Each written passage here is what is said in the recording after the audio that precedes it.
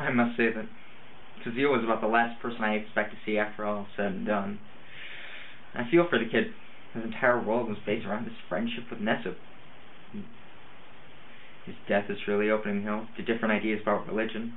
He needs time to accept what happened, and he really is just acting out his deal.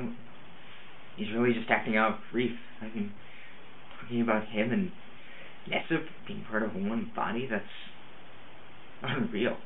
I mean, I, I doubt that's anything more than him. I mean, how could God force two people into one body? How could he, I don't know, use the ideas that Cecile and Ness have been put together and almost bring that into life?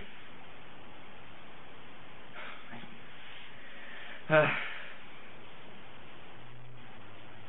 I don't know.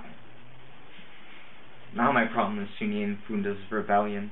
That's allowed Blue to be taken and left the police force having more power over him than I know. And even they have power over Sunay. Even they have power over Blue. I mean, whatever they want, they can basically get. Blues and Blues under police Blues under the control of the police, but honestly, Sunay and Funda have power over them. If they want him dead, he'll be dead. I don't even understand why they would want him. I mean, they want him in exchange for Kadife to be in their newest production. I mean, why? For God's sakes, why would they want her? They're endangering Blue's life so that she can be involved?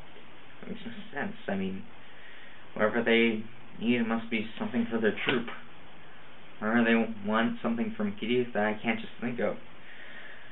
So I reached out to Blue. I had to let him know, let him know that Kitty was performing. I need to get his approval so that she could. She wouldn't do it if he wouldn't allow her. but he was more willing to die than allow Kitty to take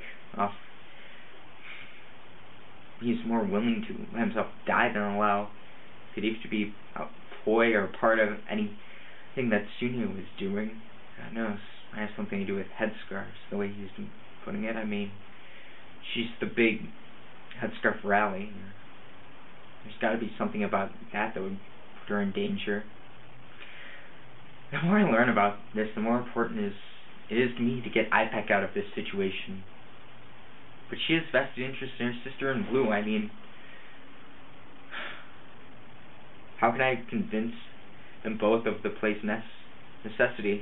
I mean, I'll need a bit of trickery to get Ipek through it, but we should be able to leave, get out of this.